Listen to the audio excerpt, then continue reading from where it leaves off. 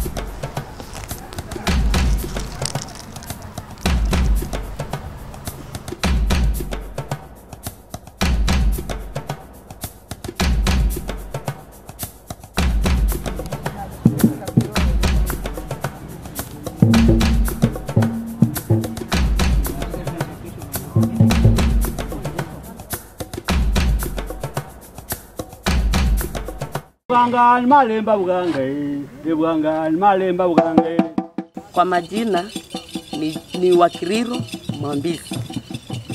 Hii ndio culture yetu.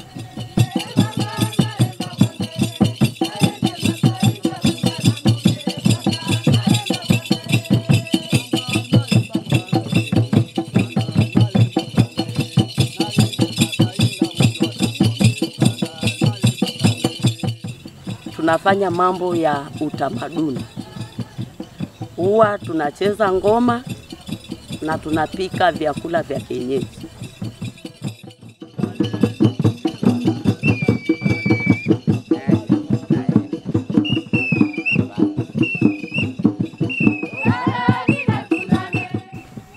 Wimbo ule wa kwanza tumetangulia kuanza kuimba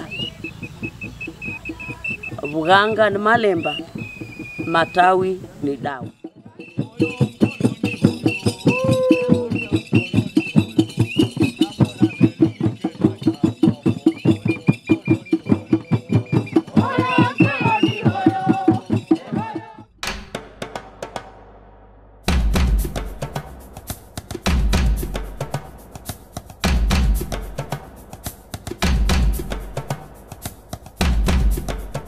Culture ya Kitaita kusema kweli, zamani kabisa wazee walikuwa wanakaa pamoja na wanakunywa pombe pamoja, waki wakiita mvua ikuje inyeshe.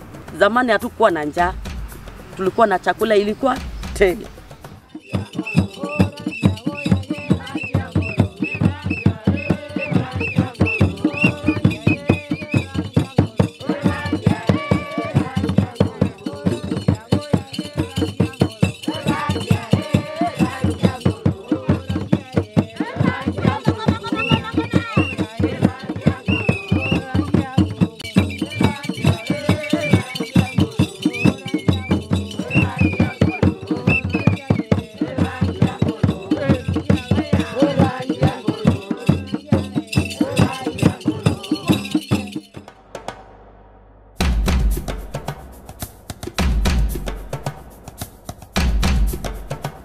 Hapo hapo tena wazee walikuwa wanakaa pamoja na wanafanya utamaduni wa kufukuza maadui.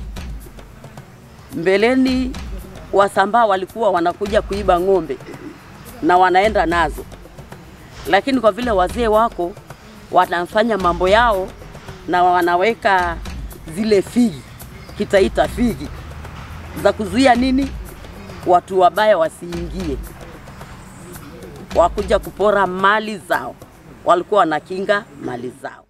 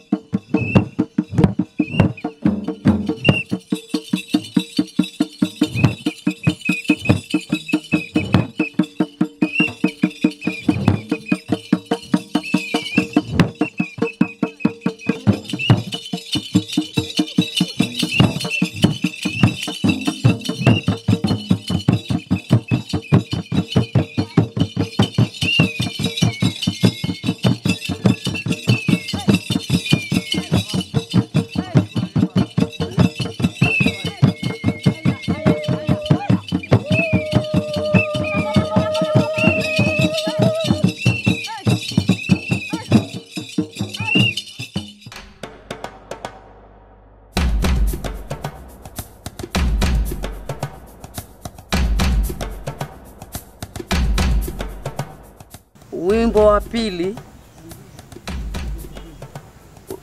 Vadavida dikundane, yaani wataita tupendane, tuwe na umoja, tusibaguane. agende beruga nkilola madumage aikamwai kishamba nkilola. madumage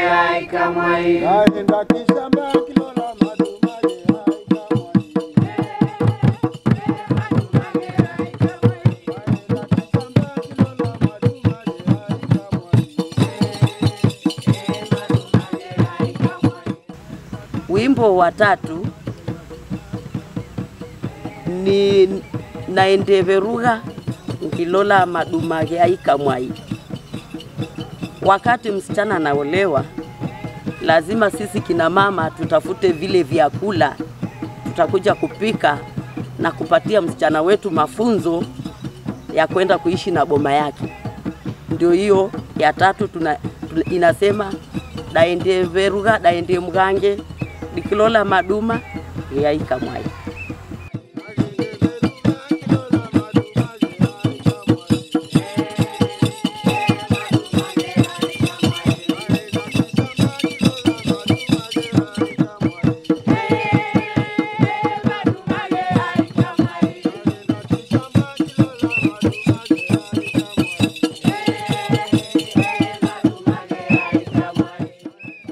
Hapo hapo tena wa, wazee walikuwa wanakaa na kikao cha kufundisha wavulana na wamama pia walikuwa na, wanakaa na kikao cha kufundisha wasichana.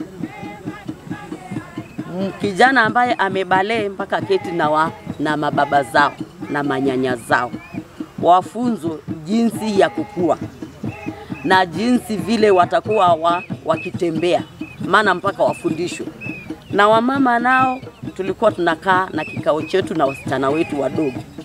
Msichana akisha bale, lazima tuketi naye tumfundishe jinsi ya kutunza usichana wake na jinsi ya kujikinga kukaa na wanaume.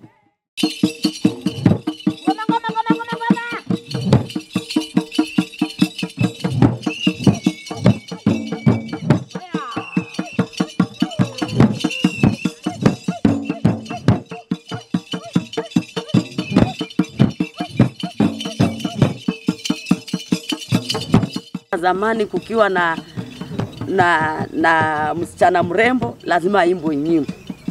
Kukiwa na wazee wanafanya kazi zao za kitamaduni lazima waimbwe nyimbo. Na msichana vile amesema kibalee mm.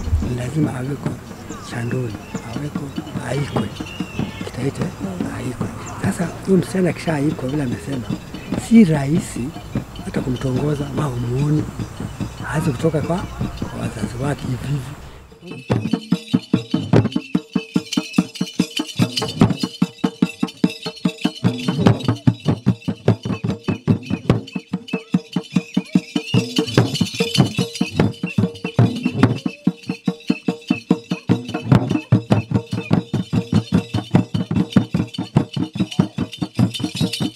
Sasa wakati ule wazee wana- wanaamua msichana wetu ataolewa na msichana wa huyu, mvulana wa huyu. Lakini kabla kabla hivyo wazee wamempeleleza mtoto wa huyu, wakaona mtoto mvulana ni mzuri. Sasa akiwa kama ni mzuri, wazee wanakisa wana wao wazazi wake na wazazi wangu tunaketi na tunajua kwamba huyu mtoto kusema kweli ni mzuri mzuri, huyo mvulana. Sasa tuta tunaweza kula mahari, hata mvulana juu, hata msichana juu, semelo kweli, tukiwa tayari kitaita sasa, si hatu ende kumchukua hivi hivi, Kwa hivyo tuseme Kitaita ilikuwa ni ile arranged marriage. eh, arranged marriage kabisa.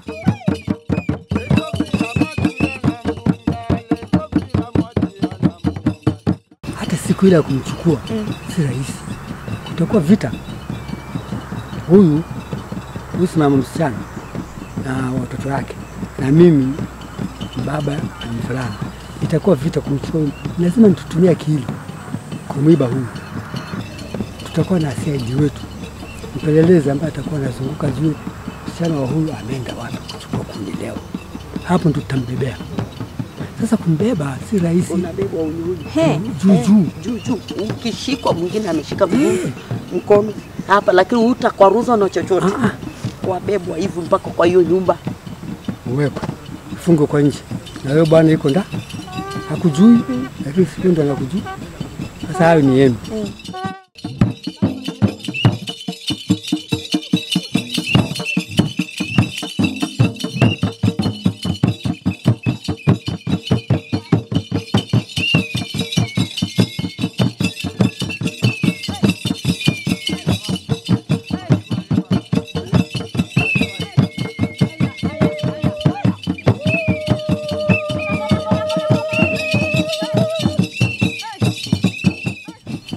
Sasa kuna mimi kama bwana baba fulani, kuna watu wameketi hapo nje, wavulana wako tayari kwa mangu Kwa mangumi, maana watapigana yeah. wakileta fujo, yeah. lazima wanapigana mpaka yeah. wafukuzwe eh, kabisa. waondoke kabisa. Wakishaondoka sasa, kuna kuna ni utamaduni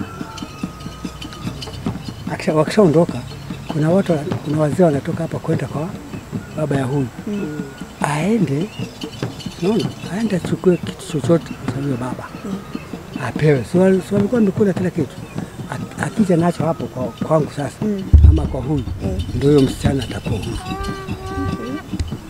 Sinaona hapo hapo, msichana atakuwa huru kufanya yote na